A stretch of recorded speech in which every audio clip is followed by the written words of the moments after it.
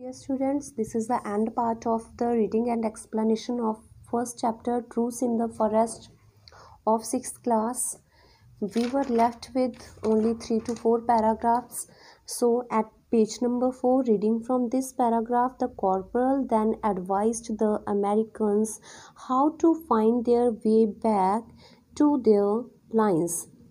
जो German corporal है, उसने अमेरिकन को एडवाइस किया कि कैसे उन्होंने वापस जाना है, किस रास्ते से वापस जाना है। Looking over Jim's map the corporal pointed out a stream continue along with creek he said अब जिम के मैप के ऊपर कॉर्पोरल ने देख के बताया कि उन्होंने जिस स्ट्रीम से जाना है, वो स्ट्रीम क्रीक के रास्ते जाती है। दैट मीन्स एक नदी के रास्ते, पानी के रास्ते उनको जाना है।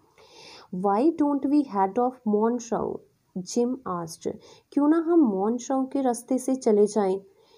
नी that means no the corporal exclaimed corporal बोला we have retaken Monschau हम मॉनशाउ को दोबारा से रीटेक कर लिया है। हमने दोबारा से उसको अंडर कंट्रोल कर लिया है.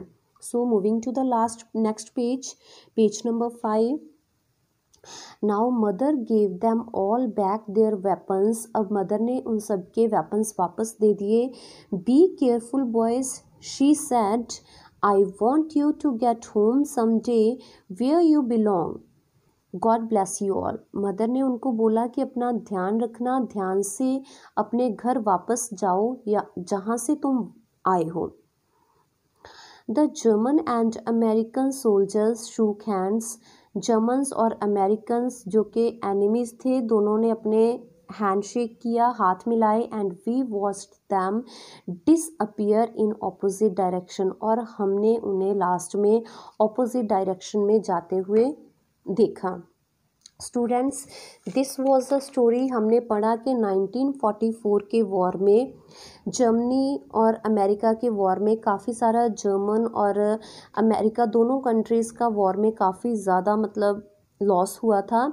And see how did author described one part of that war के कैसे उसके घर में जो जर्मन्स और अमेरिकन्स आए थे how did they become friends in a single night कैसे वो एक ही रात में एक दूसरे के फ्रेंड्स बन गए? Because they didn't have any personal enmity उनकी कोई पर्सनल दुश्मनी नहीं थी. They were just doing their jobs for their countries वो दोनों सेम कैटेगरी के थे. अमेरिकन सोल्जर अमेरिका के लिए अपनी ड्यूटी कर रहे थे. जर्मन सोल्जर्स जर्मन के लिए अपनी ड्यूटी कर रहे थे. They were not enemies students now coming to this part comprehension firstly we have complete the following sentences with suitable word phrases from the text first हमारे पास फिल इन द ब्लैंक्स है chapter में से ही the author and his family lived in the border town of author और उसकी family कौन से border town में रहते थे again A A C H E N. Students, write the answer A A C H E N. Again. Moving to the next fill in the blanks dash in german means come in come in का german में come in को क्या बोलते हैं come train k o m m T R E I N खुम rain next the American and the German soldiers dash on wood pile क्या किया था उन्होंने? लकड़ियों के ढेर पे अपने आर्म्स रखे थे वेपन्स रखे सी, रखे थे. Put their arms the American and the German soldiers put their arms on the wood pile उन्होंने अपने हथियार रखे थे put their arms put their weapons we can write the last one is dash is an angry one a starving man is an angry one a starving S T A R V I N G that means भूखा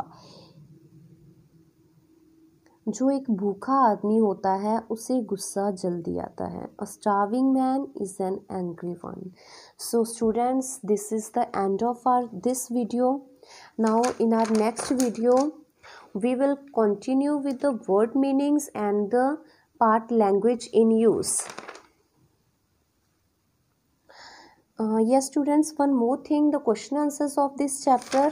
You must have got from your snap work fine आपको already हमने send कर दिया है. I think you have read that question answers if you will have any query any question related to question answers we are always there okay now this part language in you subject and verb agreement and the word meanings we will do in our next video so stay home stay safe have a wonderful day students